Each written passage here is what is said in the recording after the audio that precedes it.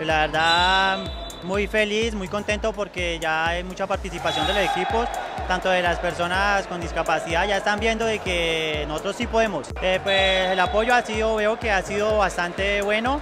Eh, el propósito de nosotros es dejar la copa otra vez de nuevo en casa. Eh, que nos vengan a acompañar y pues, para que vean un rato feliz y vean de que nosotros somos un gran ejemplo para muchos.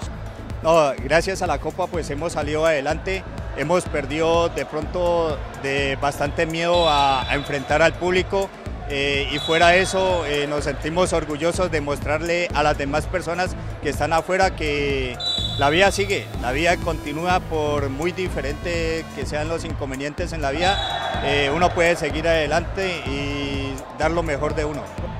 Cali es un espacio de integración total.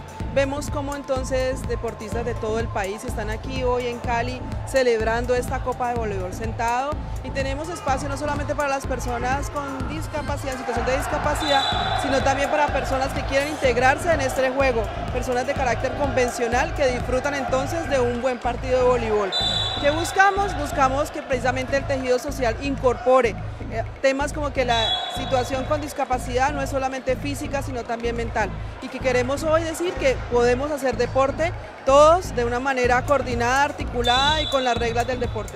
Este no es solamente un evento de deporte paralímpico, este es un evento de una situación de futuro, donde estamos integrados las personas convencionales con las personas en situación de discapacidad.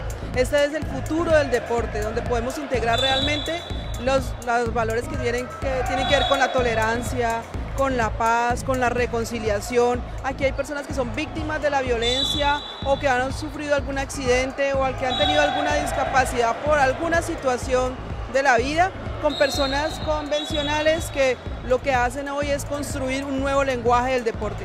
A eso responde el público caleño y aquí vemos que hasta las niñas de la selección Colombia de voleibol que están concentradas en esta ciudad están de público hoy porque realmente este es uno de los deportes que uno siempre quiere ver.